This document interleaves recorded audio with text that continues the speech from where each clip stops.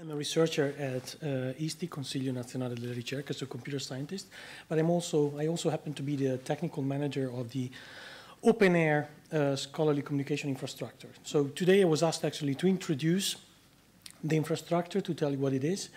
So the, uh, the outline of the talk will go mm, basically through the history, the original history of the infrastructure, so why we were called up to the army, basically, and then to introduce you to the overall organization, so through the human uh, part of this infrastructure and the technological part, which uh, uh supports it.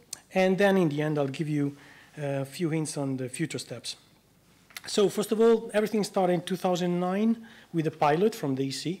So the EC started experimenting with us scientists uh, recommending, strongly recommending in the, um, in the project proposals, actually in the contracts, to publish open access. That was called the Special Clause 39.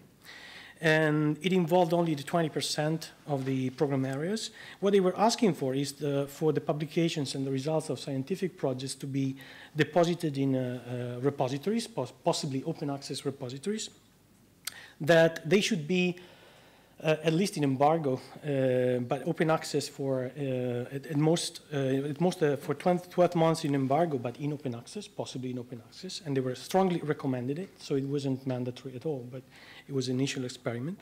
And they would also provide uh, gold payments for your open access license. I'm not sure you're all familiar with what gold open access is, but basically you pay, the author pays um, to get the paper remove the copyrights and be um, open access out there. So the pilot also wanted uh, whoever would win the call to disseminate the notion of open access, make sure researchers are fully aware of what it is and how they can benefit from it, and uh, so forth. So OpenAIRE came um, as the winner of this call, and from 2009 and 2012, uh, we started collecting uh, basically uh, metadata about publications that was funded um, by uh, EC projects. And we started providing statistics about the ratio between open access and non-open access for such projects at the level of country and, and so on. And we became, slowly became a point of reference for open access in Europe. Again, this is an effort that is uh, also uh, highly based on the human contribution, uh, not only a technical effort. Uh, once the project was over, uh, it had a continuation called OpenAIRE Plus. Still, it would run the so-called OpenAIRE infrastructure, so the, the, the, brand of the infrastructure didn't change.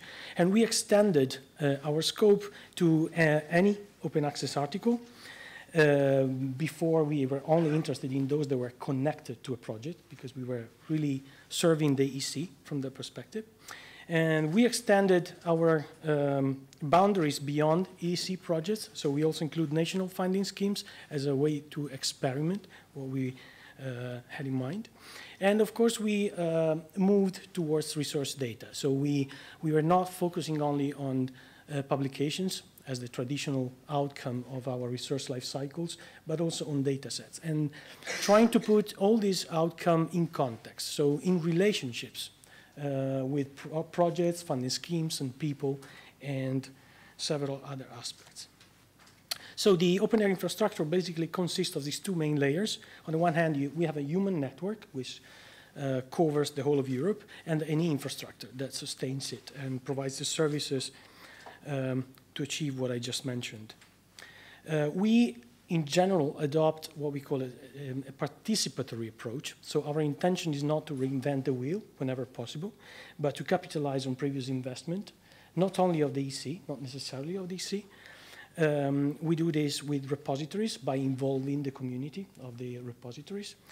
Uh, with the technologies, so we try to reuse, of course, everything we produce in terms of technologies, open source, but is also based on existing products, and on whatever organization and people uh, would come up with that is interesting relevant to our mission. So in terms of humans, the human uh, network, we uh, actually have one representative for each of the uh, EC country.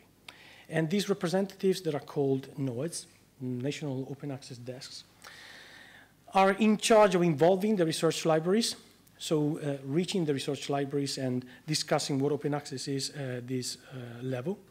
And then, of course, they also have another important uh, value, which is the bottom-up approach. Basically, they try to capture what's going on at the national level in terms of open access initiatives and bring it up uh, to um, the head, so to the coordination of the NOADs, where it can eventually be distributed uh, uh, bottom again to those countries who didn't know or didn't know about certain things or events. And so the, to facilitate the reuse uh, of the uh, advocacies and uh, policies uh, mechanisms at the level of the nations. Of course, it's all, it's all about open air advocacy, but also about harmonization. So another important thing that the NOADs have done uh, by um, binding with um, the repository community is that of defining guidelines. So the definition of guidelines um, uh, is actually uh, key and vital, you know, to, to uh, grow up uh, a community which is robust enough and sustainable in the future.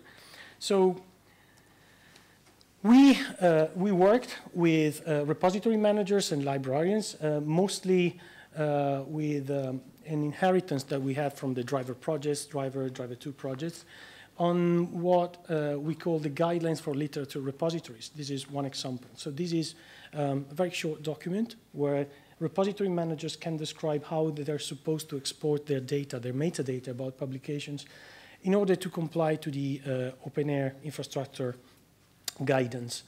Meaning, for example, that uh, they're supposed to provide um, bibliographical metadata um, completed with project information where, uh, where it exists, with um, copyright information um, based on given vocabularies that we have, and so forth. If you want to know more, I'll be happy to explain.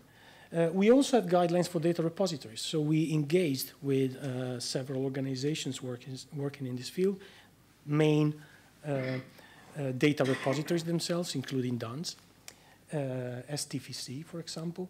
And we defined what we believe are the simplest way what, what, we believe is the simplest way uh, for data repositories to export their data. So we basically uh, um, ended up at the level of data citation, adopting DataCite as uh, the main mechanism, profiling with special things that we need in OpenAIRE, again, references to projects or references to publications and so on, to reuse uh, the data in context where it exists.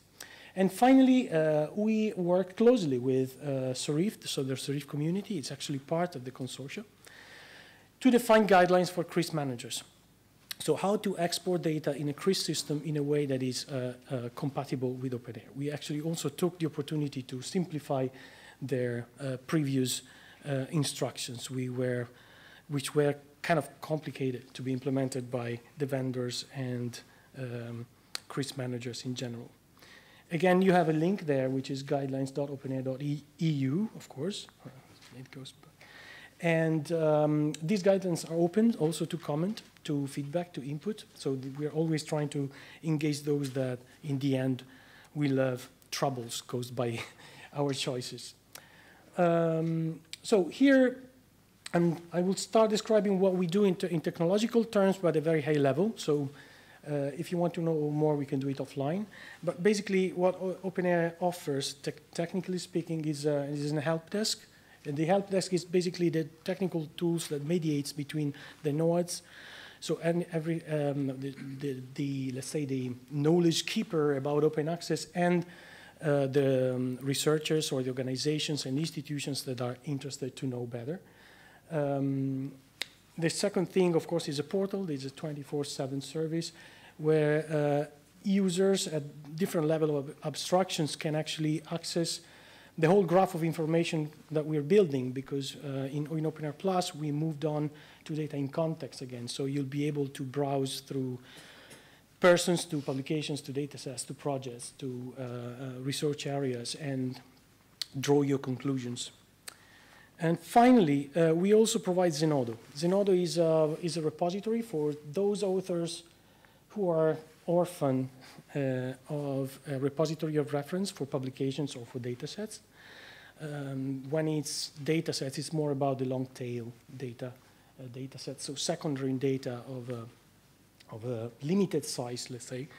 But Zenodo proved to be very useful, and we have a lot of users. I'll tell you more about it later on.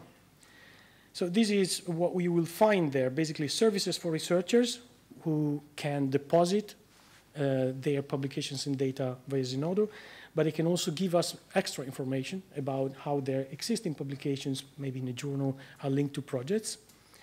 Uh, and of course, they can find open access information and author guides. Data providers, we are actually helping them to understand how they can export their data towards our system um, and how, how can they actually harmonize their data according to the community guidelines that have been defined by the community. And uh, resource managers, this is, a, again, a different level. So we are talking about project coordinators, for example, who are willing to know and to show off, actually, how they've been doing uh, in the years uh, in, in, in, the projects they've been coordinating. We offer a number of services here to serve their needs, including uh, fancy, fancy widgets you can put in your project website to show the list of publications, for example. Um, and finally, funding agencies. This is another important uh, goal. The EC, thanks to our tools, can actually measure the impact of the different investments they've made, right? So the level of a country, the level of uh, a funding area or a sub-program or in, to, to the finer grain of projects. So here is an overall picture of the technical infrastructure. You have at the top, at the top you have the functionalities that are provided by the portal, and at the bottom you have the typologies of data sources we are dealing with, which can be summarized in four main categories. It's repository uh, for publications, repository for data, CRIS systems, which we believe are three main players, and we actually have defined guidelines for them. And then what we call, as a very general term, entity registries. Entity registries are those data sources available on the internet uh, the, whose organization, uh, I mean the organization around them, uh, takes care of uh, authority lists or uh, entity definition, uh, identity, um, maintenance, and so on. And these are very useful, and these are activities that we actually don't want to carry on in, uh, in our project. Examples are uh, OpenDOAR from the UK, for example, which keeps a very nice list and curated list of uh, European repository pu for publications. Re3 Data is uh, uh, very keen to this, but focused on um, data repositories. So we are trying to take advantage, actually, to liaise uh, with all these kind of infrastructures. For those, of course, we don't have any uh, guidelines we might have in the future, if the repository sync from Herbert will take over, and that's, uh, that would be uh, very important. But we establish um, one-to-one -one connections. So what we do in the middle um, is basically we collect the information, so information about publications, organizations, data sources themselves, uh, persons, data sets, and we build a graph, a graph of objects. And this graph interconnects these entities one to the other where the relationships are available. But we do something else on top. So we do a lot of text mine, and text mine helps us to uh, deduplicate. And this is often the case when you collect metadata from several data sources. Uh, helps us to identify relationships of the classical kind, like citations, similarity, which is not listed here, classification, and so on. Uh, and then we take this graph and we offer it to the users and also via APIs to applications. We, we are serving today uh, several applications who are downloading objects from uh, our graph. Of course, we are driven by guidelines for interoperability, and we have also guidelines for use services. Okay, so we have certain limitations uh, that we like to apply to those who are willing to consume our data. They have to do it in a certain way. They can access the whole thing, but following certain paradigms. So a nice thing we can do, and it's the immediate benefit uh, from the construction of this graph, is the production of uh, project statistics in general. So this is uh, an example of project productivity over time, uh, uh, post-project and uh, monitoring. This is, again, another useful thing, which you cannot do with a traditional tools from DC, which stop collecting information about the project outcome when the project ends. Publication locations, so where these are located, where they, they are located in terms not only of data sources as indicated here, but uh, uh, in terms of countries, for example. And open access mandate conformance, this is another important aspect. The OpenAIRE data flow, just to get a little bit deeper into the technologies, um, is the following. So we collect from data sources, we collect from end users, we call them claims. So we, this is when the authors uh, come to us and tell us, hey, this is my publication with the DOI and you can link it to this project and this is open access or non-open access. Or what I can do is to give their ORCID identifier and download their publications and link them. They can also search for publications on our information space, identify theirs and link them to projects. And this happens when project coordination are actually demand, project coordinators are demanding the researchers to do it in order to increase the number of publications uh, visible and associated to their project in the portal. Thanks to this, we build a native information space, which is again dirty, so it's uh, mm, non-harmonized metadata, possibly duplicated. So we deduplicated and we build what we call the public information space, which can be uh, directly accessed through the portal and through APIs. But on top of this, we do also extra data inference and user data curation. We create an enriched information space, which is feedback to the duplication. And this is an ongoing process that goes on forever. So uh, we tend to materialize a new index, a new refresh every week. That's the uh, rhythm that we are trying to keep up with. So these are the, the, these are the examples of the data sources uh, from which we are importing. For example, data centers and thematic like DataCite, uh, like Dryad. We have uh, from publication repositories institutional, but also journals. So we include journals in the picture and thematic repositories like arXiv, for example. Uh, aggregators of both repositories and, and data sets, entity registries, and CRIS systems. The um, Experimentation with CRIS systems is not yet started. The rest is already in production. Uh, we import from end users, so we import from Zenodo, of course. So if you're depositing into Zenodo, of course, indirectly you, you, will, you are depositing into OpenAIRE. Um, we uh, do cross-ref claiming, as I just suggest before, so suggested before, so you can provide us with a DOI and relative publications, and we do uh, the connection and the harmonization. And we also offer data curation tools. These are to be uh, released by the end of the year.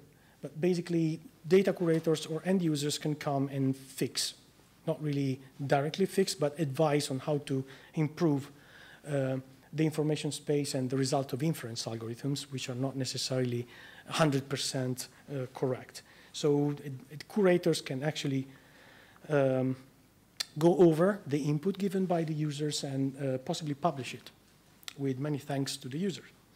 And we also import from inference. Again, inference is applied on PDFs. Uh, we uh, download PDFs where possible by establishing often mm, uh, face-to-face -face agreements with uh, repository managers. We are not distributing PDFs, so we are not actually, actually acting as a mediator of the PDFs. We always give visibility to the original repository, so the, the, the final clicks go there. With this, this is the philosophy. But thanks to their contribution, we can infer several things. These are just examples.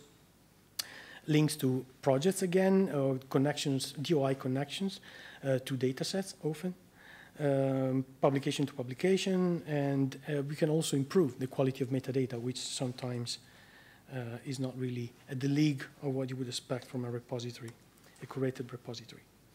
Again, Zenodo uh, is, um, we call it a catch-all repository. It's an OpenAIRE CERN joint effort. It's based on their own technology, which is called uh, Invenio. It's open source again, and uh, it includes uh, a nice suite of services. So you can also build, uh, if you want, a community for your group of people or for your project in order to use the repository as the place where you would uh, store uh, all the results of your project, be them data sets and, uh, or publication. It's curated, so every single record is looked uh, after and um, curated and curated before being published.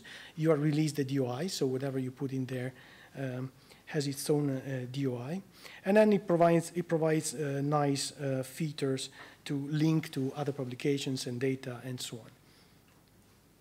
So finally, just four slides to tell you where we are and where we're going. So these are some numbers. So we have uh, 8 million publications, open access and non-open access, uh, linked to projects, not necessarily all of them, because we uh, actually um, loosened uh, our constraints so we can have open access publication because we're interested in those, even if they don't have a link to a project, while we are very strict on non-open access. So we are only interested in those if they have a link to a project, because we need them to calculate the ratio. Um, in, uh, originally, just to give you an idea of the figures, we have 12 public, million publications, right? So after the duplication, almost 10% uh, goes away, um, even more. Actually, no, actually we have 9, 10, 10 millions, so almost 10%. The same for authors. We are collecting now from 460 data providers uh, of different typologies. The majority of them, of course, is repositories uh, for publications. And um, we collect from two funders, so the Wellcome Trust and AC, but others will follow.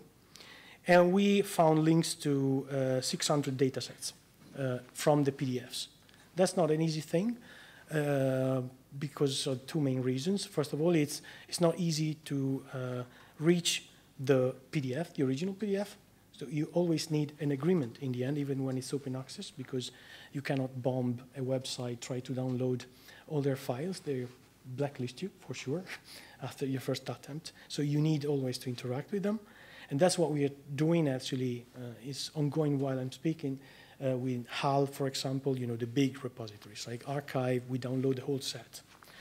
Uh, and the second reason is uh, because, as many uh, previous speakers have uh, highlighted, it's not still common. It's not in the cultural, it's not in the culture of researchers to cite directly their data sets. So there are disciplines where this is quite common, but the majority of them uh, really is unaware, I would say, of the value of this practice.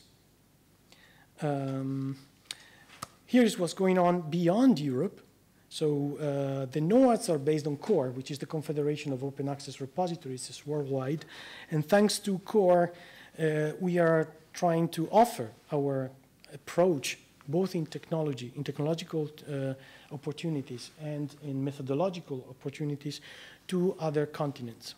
So uh, I can tell you about South America. We, work, we worked closely with Argentina. So they are currently using our technology, and they're moving up to La Referencia, which is basically the same idea of uh, aggregation of repositories, but at the level of South America and we are in strict relationships and we'll work with them in the future. We have contacts with Share and, and it's, a, it's, a very, it's a very interesting approach, the one they're adopting based on subscriptions and notifications. But anyway, the idea is still the same. Collecting information about open access uh, publications and distribute it as much as possible to those that are interested to access it. And the same experiences are ongoing uh, in the other continents. From Canada, is still a question mark. Um, so what's going to happen? We're moving now from the FP7 open access pilot that I mentioned in the beginning of this talk to uh, H2020. Uh, so Horizon 2020 is going to be a nightmare for most of the, yes, um, indeed a nightmare for most of the uh, researchers because, first of all, I don't know about you, but I'm a researcher also, and the majority of researchers do not know anything about these things. I mean, they don't care. They keep on publishing according to their old traditional schemes, you know, following the most fancy journals.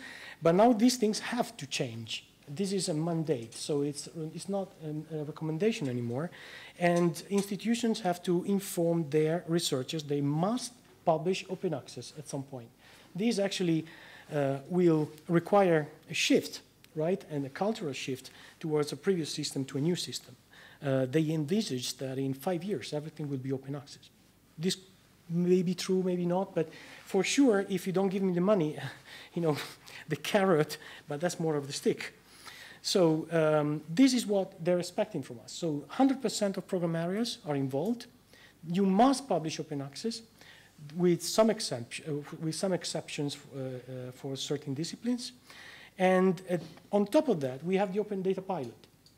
I'm not sure you're all aware of what it is, but it goes in the direction of a publication, so you're somehow obliged to uh, make your data public if you produce some data in, uh, in, your, uh, in your project. Uh, with several degrees of liberty, let's say, of freedom of choosing how to do it, because it's still in a very vague uh, limbo, but uh, in the years to come, this will become stronger and stronger recommendations.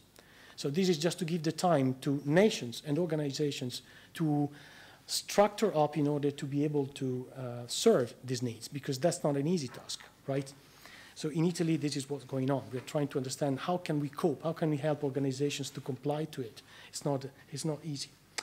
So in open, OpenAIRE, uh, we'll try uh, to be alive in uh, uh Horizon 2020, and uh, we, we will extend the scope to a richer number of research products. There's no boundary now. We, the, the publication is just one of the many. We'll try to do our best to integrate them with each other, include several including several communities, but most of all, uh, liaise with the community themselves in order to explain them how to uh, expose the, their products in a, in a sensible, shareable uh, way. And finally, services. Again, we will uh, the, broad of, uh, the, the, scope of the services to altmetrics, to other kinds uh, of um, numbers with which we can play in order to evaluate the quality of the resources we produce. And this is, again, another important step down the road. Thank you. I'm done. So.